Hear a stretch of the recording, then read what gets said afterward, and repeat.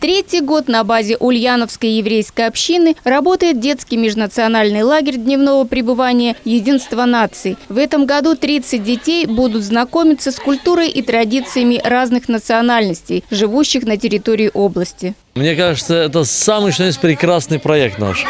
У нас много проектов, но этот уникален. Почему? Потому что, вы знаете, ведь это работа с детьми, а дети – это самое что есть наше счастье.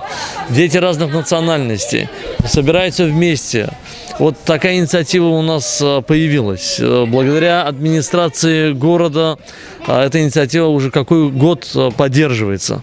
Ну и дети, дети, самое главное, рады, с детства узнают о том, о культуре других народов, которые проживают на нашей Ульяновской области.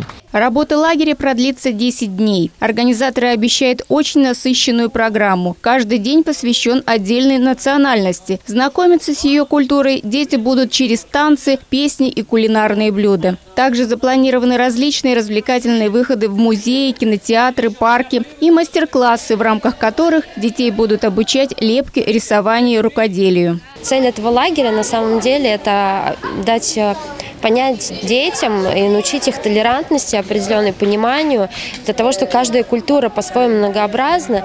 Э, и это очень важно знать на самом деле, для того, чтобы понимать э, людей, которые живут с тобой рядом в нашей многонациональной стране. Пребывание в лагере для детей абсолютно бесплатное, поэтому в смене в основном участвуют ребята из малообеспеченных семей. Ирина Антонова, Юрий Ломатов, Новости Ульяновской правды.